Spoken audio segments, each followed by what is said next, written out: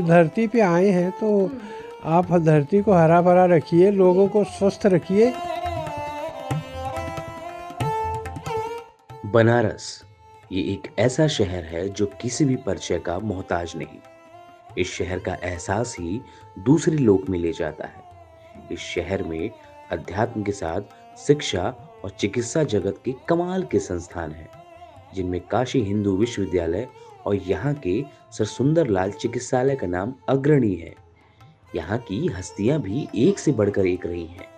ऐसी ही एक शख्सियत का नाम है विश्व के जाने माने cancer surgeon professor Shri Harishankar Shukla. सेवा को समर्पित व्यक्तित्व या यूँ कहें कि चलती फिरती संस्था। उन्यासी साल के प्रोफेसर श्री हरिशंकर शुक्ला एक ऐसा नाम है जो मरीजों की दुख तकलीफ़ को दूर करने के मिशन में जुटे हैं। डॉक्टर के रूप में करियर की शुरुआती दौर में डॉक्टर शुक्ला काशी हिंदू विश्वविद्यालय से जुड़े। पूर्वांचल के एम्स कहे जाने वाले सर सुंदरलाल चिकित्सालय से 2006 में रिटायरमेंट के 16 साल बाद भी डॉक्टर हरिशंकर शुक्ला मरीजों की चिकित्सा और सेवा बदस्तूर जारी है। मरीजों की सेवा में रमे डॉक्टर हरिशंकर का गाँव बनारस से 120 किलोमीटर दूर प्रयागराज के अखिया में है। डॉक्टरी के अलावा डॉक्टर शुक्ला की रुचि खेती में भी है।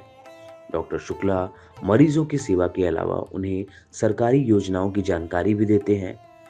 अपने गाँव में उन्होंने मछली पालन के लिए तालाब बनवाया है, जिसमें पाँच हज़ार मछलियाँ हैं। उनके बाग चंदन समेत कई तरह के वृक्ष हैं। डॉक्टर शुक्ला मोटे अनाज की जैविक खेती भी करते हैं। जो भी मरीज़ उनके यहाँ आते हैं, वह उसे जैविक खेती से उत्पादित फल सब्ज़ियाँ देते हैं। मरीजों को जैविक खेती करने के लिए प्रेरित भी किया जाता है। डॉक्टर शुक्ला के साथ उनतीस साल से रह रहे आनंद बताते हैं कि गाँव में जब से डॉक्टर शुक्ला ने रेगुलर आना शुरू किया है, तब से ग्रामीणों ने भी आना जाना शुरू कर दिया है। आश्रम जैसा लुक दिया गया है। डॉक्टर शुक्ला की ज़मीन पर जैविक खेती की जाती है। केमिकल मुक्त खेती पर ज़ोर दिया जा रहा है। केयर टेकर और सहयोगियों को भी इससे मदद मिलती है। स्थानीय ग्रामीणों के बीच भी ये सब्ज़ियाँ लोकप्रिय हैं। इसलिए लोग डॉक्टर हरिशंकर शुक्ला के खेत में पैदा हुई सब्जियों की डिमांड भी अच्छी है। एक रुपए किलो गेहूँ की पिसाई का शुल्क है। सरसों तेल निकालने की मशीन भी लगाई गई है। डॉक्टर शुक्ला अपने खेत की सब्जियों के बारे में बताते हैं कि जैविक खेती के साथ इंसान आत्मनिर्भर बन सकता है। किसानों की महत्वाकांक्षा पर टिप्पणी में डॉक्टर शुक्ला ने कहा कि टीवी, फ्रिज और स्मार्टफ़ोन की चाहत में केमिकल का इस्तेमाल कर केमिकल का धड़ल्ले से इस्तेमाल किया जाता है। लेकिन जैविक खेती से उपजाई गई फ़सल अच्छी कीमत पर बिके तो दवाओं का खर्च खत्म किया जा सकता है और नेचर भी बैलेंस करती पेशे से वकील डॉक्टर प्रभाकांत और मनोज कुमार शुक्ला डॉक्टर हरिशंकर शुक्ला के यहाँ नियमित रूप से आते रहते हैं। जैविक खेती करने वाले डॉक्टर शुक्ला कैंसर पीड़ितों के अलावा बाकी लोगों को भी केमिकल मुक्त और जैविक खाद का इस्तेमाल करने का सुझाव देते हैं। करीब 30 साल से यहाँ डॉक्टर शुक्ला के परिसर में सब्जियों की खेती और बिक्री करने वाली सुनीता बताती हैं कि उनका पूरा जीवन डॉक्टर शुक्ला के आवास पर खेती और सब्जियों की बिक्री में बीता है। काफ़ी सुखद और अच्छा अनुभव रहा। डॉक्टर शुक्ला के स्टाफ के लिए जिस किचन में खाना बनता है खबर हिंदी की टीम वहाँ भी पहुँची। कंडे और लकड़ी के चूल्हे पर खाना पकाने वाली किरण बताती हैं कि वे सात साल से डॉक्टर शुक्ला के साथ हैं। हर रविवार को यहाँ तमाम स्टाफ के लिए खाना पकाया जाता है। दाल चावल सब्ज़ी पूरी। शुद्ध शाकाहारी खाना बनाती हैं। हाँ एकदम शुद्ध हाँ एकदम शुद्ध है। यहाँ इत- पर इतने साल रही कोई हाँ, तकलीफ़ नहीं? कुछ नहीं कुछ नहीं एकदम आराम से- अच्छे हम्म। से बीत रहा है। वे बताते हैं कि 10-12 साल से डॉक्टर शुक्ला के साथ हैं। उन्होंने बताया कि खेती किसानी के अलावा मरीजों के इलाज में भी मदद करते हैं। मरीजों के साथ आत्मीय रिश्ता बनता है। उन्होंने कहा कि पैसों की तंगी से जूझ रहे मरीजों का इलाज के अभाव में तड़पना नहीं पड़ता। ज़रूरतमंद लोगों को फंड की ज़रूरत पड़ने पर मुफ़्त एंबुलेंस की सेवा मुहैया कराते हैं। सोशल एक्टिविटी में गाँव में कैंप लगाते हैं। सोमवार को बीएचयू में आज भी डॉक्टर शुक्ला मरीजों को देखने जाते हैं। दूर दराज के लोगों को ज़रूरत पड़ने पर बनारस बुलाते हैं। डॉक्टर शुक्ला अपनी ज़मीन पर बारहमासी आम की भी खेती करते हैं। वैज्ञानिक और प्राकृतिक तरीकों से मरीजों का इलाज करने के अलावा डॉक्टर शुक्ला अट्ठानवे साल के बुज़ुर्ग की नेमत भी संभाल कर रखते हैं। अत्याधुनिक चिकित्सा पद्धति से इलाज करने वाले डॉक्टर शुक्ला अध्यात्म के प्रति भी रुझान रखते हैं। उनके परिसर में बनाई गई इमारतों पर इसकी झलक मिलती है। डॉक्टर शुक्ला ने पानी की सुविधा वाले भवन को नर्मदा गैराज, विष्णु टावर और एक अन्य भवन को मुन्ने हाल का नाम दिया है। डॉक्टर शुक्ला चाय में चीनी घोलकर पीना बिल्कुल पसंद नहीं करते। डॉक्टर साहब के परिसर में एक बहुत पुराना वृक्ष भी दिखाई देता है। दुर्लभ पेड़ों को सहेजने के मकसद से डॉक्टर शुक्ला ने अपने परिसर में लाल चंदन भी लगा रखा है। परामर्थ के यज्ञ में खुद के परिश्रम की आहुति देने वाले लोगों में डॉक्टर सनुज कुमार मौर्य भी शामिल हैं। उन्होंने बताया कि करीब सत्रह साल से वे डॉक्टर शुक्ला के मार्गदर्शन में ज़रूरतमंद लोगों की सेवा में लगे हुए हैं। उन्होंने जैविक खेती के बारे में बताया कि जब भी समय मिलता है, वे खेतों में श्रमदान करने आते हैं गरीबों को मुफ़्त इलाज और फल सब्ज़ियाँ, अनाज जैसी मदद भी दी जाती है। अरहर दाल और केले की खेती की जा रही है। खेती से लोग इसलिए दूर भाग रहे हैं क्योंकि उन्हें रिटर्न कम मिलता है। सनोज, सेहतमंद जीवन के लिए आम लोगों से भी रोज़मर्रा की सब्ज़ियाँ उगाने की अपील करते हैं। केले के साथ साथ बाकी फ़सलों की खेती के लिए डॉक्टर शुक्ला की ज़मीन पर अलग सेगमेंट बने हुए हैं। क्यारियों की जुताई के बाद कतारों में केले के पौधे देखे जा सकते हैं। कर्मभूमि, बनारस से 120 किलोमीटर दूर, इलाहाबाद के एक गाँव में मरीजों की सेवा करने में जुटे डॉक्टर हरिशंकर शुक्ला की लाइफ युवाओं के लिए एक मिसाल है। गरीबों और मरीजों की सेवा के संकल्प के साथ डॉक्टर शुक्ला गाँव में बतौर डॉक्टर रिटायरमेंट के 22 साल के बाद भी सक्रिय हैं। खेती किसानी में शिद्दत से जुटे डॉक्टर शुक्ला के पास इलाज कराने पहुँचे मरीज़ बताते हैं कि इलाज के अलावा डॉक्टर शुक्ला ऑर्गेनिक खेती करते हैं, जो काफ़ी उत्साह बढ़ाने वाला है। ऊर्जा संबंधी ज़रूरतों को पूरा करने के लिए डॉक्टर शुक्ला सोलर एनर्जी का इस्तेमाल करते हैं। उनके परिसर में भवन का ऊपरी हिस्सा सोलर पावर की प्लेट से ढका है। इसकी मदद से उन्हें कभी भी पावर सप्लाई में परेशानी नहीं होती। परिसर में तालाब के पीछे का तर्क समझाते हुए डॉक्टर शुक्ला बताते हैं कि ग्राउंड वाटर लेवल बरकरार रखने में मदद मिलती है।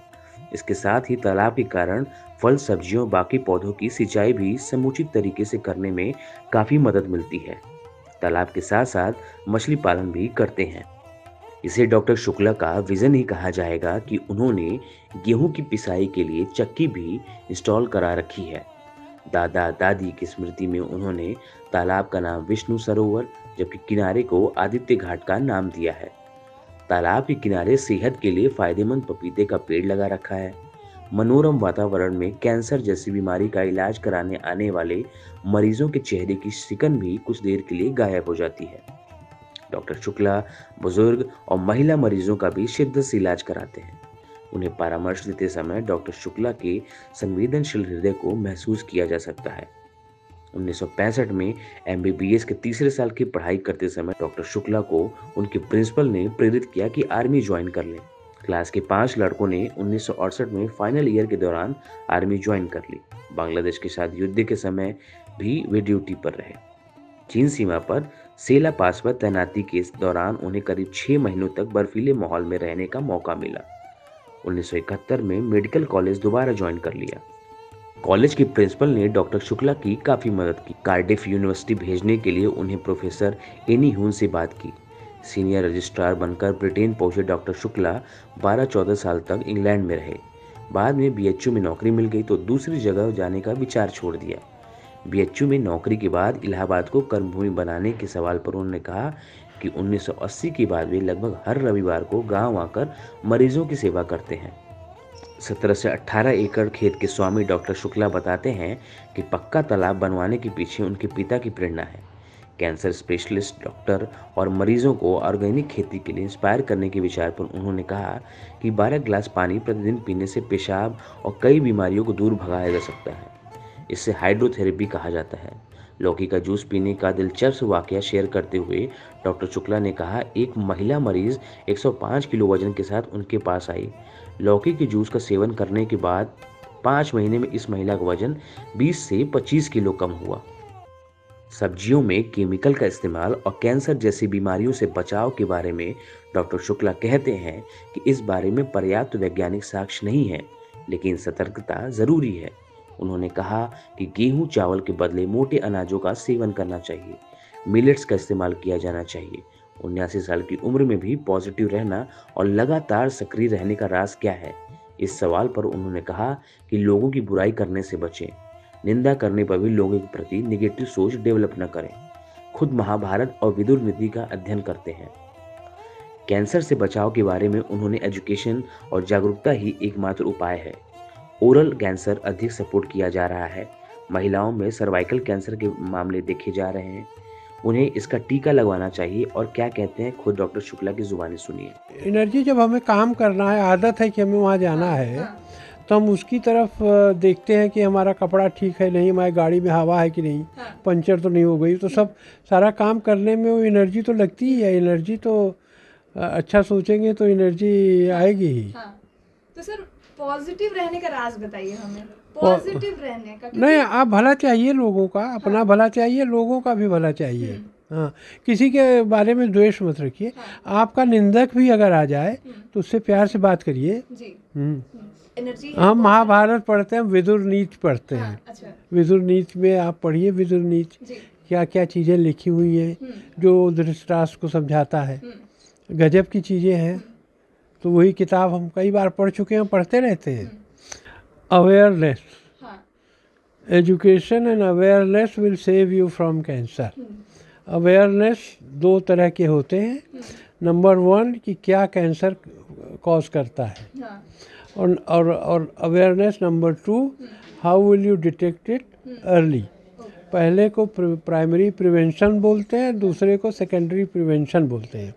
सेकेंडरी प्रिवेंशन इसलिए बोलते हैं कि अगर स्टेज वन में कैंसर पा लिया कहीं का भी हो जी। एक आध जगह छोड़ के तो हंड्रेड परसेंट तक क्योर होता है। हाँ। और प्राइमरी प्रिवेंशन में होता ही नहीं। अब जैसे लेडीज़ को क्या यंग गर्ल्स को अब वो सर्वाइकल कैंसर के प्रिवेंशन के लिए टीका अवेलेबल हो गया है। सबको लगाना चाहिए। तेरह साल की उम्र से पंद्रह साल के बीच में लगा लेना चाहिए बिफोर मेराइटल एक्सपोजर। तो it is very important that सब कोई लगाए तो उससे सर्वाइकल कैंसर कम हो जाएगा। ओरल कैंसर बहुत ज़्यादा होता है। यहाँ पे 120 से 110 डेढ़ सौ मरीज़ आते हैं 80 करीब ओरल कैंसर होते हैं। कहाँ कहाँ से नहीं आते उनकी हालत देखिए। वो परित्याज होते हैं सोसाइटी में लोग बात नहीं करते। जबकि रोज़ शीशा देखते हैं रोज़ मुँह खोलें तो पता लग जाए। तो वो नहीं देखते तो अवेयरनेस अगर उनको है और और नॉलेज है थोड़ी सी तो वो पकड़ लेंगे। बिल्कुल बिल्कुल। डॉक्टर शुक्ला के खेत में सब्जियों की खेती और उसकी बिक्री करने वाले सहायकों ने बताया कि बैगन अमरूद और बाकी सब्ज़ियाँ बाज़ार की तुलना में कम कीमत के साथ साथ अच्छी गुणवत्ता में भी मिलती हैं। मरीजों के अलावा आसपास के गाँवों के खरीदार भी अच्छी खासी तादाद में आते हैं। डॉक्टर हरिशंकर शुक्ला का परिवार भी उनके साथ खड़ा है। उनके छोटे भाई के शुक्ला बताते हैं कि उन्होंने एक छोटा सा फलों का बाग भी लगाया है। घर के पीछे की ज़मीन पर हाइब्रिड आम, आंवला, अमरूद और जामुन जैसे फल लगाए हैं। बाग के नींबू इतने बड़े आकार के होते हैं कि चार पाँच लोगों के परिवार के लिए एक नींबू ही पर्याप्त है। एक छोटा सा बाग है ये अपने घर के पीछे का। इसमें आम आंवला और जामुन लगा हुआ है हम्म। और सभी हाइब्रिड हैं। हम्म, बहुत अच्छे हैं।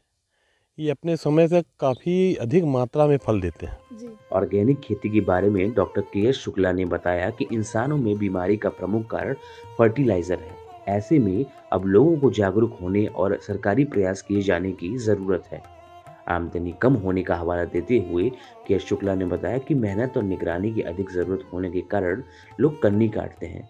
लेकिन सेहतमंद जीवन जीने की चाह रखने वाले लोगों के लिए केमिकल मुक्त खेती अपनानी चाहिए। तो ऑर्गेनिक खेती तो वो इंसान के सेहत के लिए मानव के सेहत के लिए बहुत अच्छा रहता है।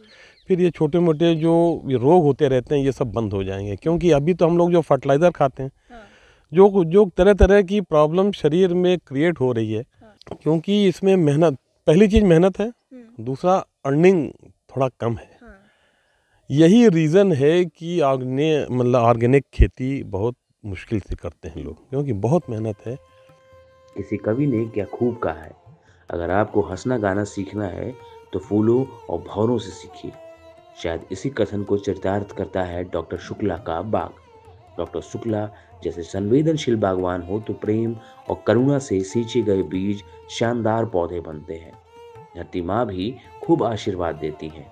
इनके बागों में फलों के अलावा गुलाब की किस्में हैं। मुस्कुराते हुए फलों के राजा को देखकर आप जीवन का हर तनाव भूल सकते हैं। घरों में गोवंश को रखने और गौ माता की सेवा करने पर अक्सर लोग कहते कि हमने गाय पाली है। शायद इसे डॉक्टर कुमार विश्वास जैसे कवि हृदय व्यक्ति ने ठीक तरीके से कहा है कि गौ पालन इंसान नहीं करते, बल्कि गौ माता हम इंसानों को पालती है। डॉक्टर शुक्ला के परिसर में आने पर एक अलग ही दुनिया की अनुभूति होती है। परिसर में आधे दर्जन से अधिक गायों का पालन होता है। सेवक बताते हैं कि दूध, दही पर्याप्त मात्रा में मिल जाता है। बीएचयू से रिटायरमेंट के बाद इलाहाबाद में मरीजों की सेवा में जुटे हरिशंकर शुक्ला के पास कैंसर पीड़ित बहुत दूर दूर से इलाज कराने आते हैं। डॉक्टर शुक्ला के मरीजों में उत्तर प्रदेश के अलावा नेपाल, मध्य प्रदेश, झारखंड, बिहार जैसे प्रदेशों के लोग भी शामिल हैं। डॉक्टर सतीश शुक्ला मरीजों के प्रति इस कदर समर्पित हैं, इसका अंदाज़ा इस बात से होता है कि अपने गाँव में सप्ताह के दो दिन चिकित्सा शिविर का आयोजन करते हैं। अंत में बस इतना कि बनारस से इलाहाबाद तक की पूरी जर्नी खबर हिंदी की टीम के लिए तो यादगार बन ही गई। काफ़ी कुछ सिखाने वाले मोमेंट्स भी जीने का मौका मिला। हमें उम्मीद है कि आम लोगों की लाइफ में हरिशंकर शुक्ला की लाइफ जर्नी बेहतरीन अनुभव जोड़ने का काम करेगी। तो आपने देखा कि किस तरीके से हम लोग बनारस से चलते हुए यहाँ अटकरिया गाँव में आए हैं, जो कि 120 किलोमीटर दूर है वाराणसी से। रास्ते में आते हुए कई सारी कठिनाइयाँ, जैसे ट्रैफ़िक और बहुत सारी चीज़ें देखने को मिली। मगर यहाँ आने के बाद मन में एक अजीब तरह की प्रसन्नता भी देखी गई। अगर हम बात करें तो इस गाँव में ये बोला जा सकता है कि एक डॉक्टर एच एस शुक्ला द्वारा बसा बसाया गाँव है, जहाँ खेती, किसानी, बागवानी और मरीजों की देख रेख के साथ ही पशुओं को भी पाला जाता है। तो अगर हम ये कहें कि ये ऑल इन वन पैकेज है तो ये गलत नहीं होगा। सर का शुरू से ऐसा उद्देश्य रहा है कि जब हम कोई काम कर रहे हैं तो उसको हमेशा आगे बढ़ाएँ। खबर हिंदी की टीम का वादा है कि हम ऐसे ही और हस्तियों से रूबरू कराते रहेंगे इससे बेहतर बल्कि सकारात्मक जीवन जीने की प्रेरणा मिले। देखते रहिए खबर हिंदी।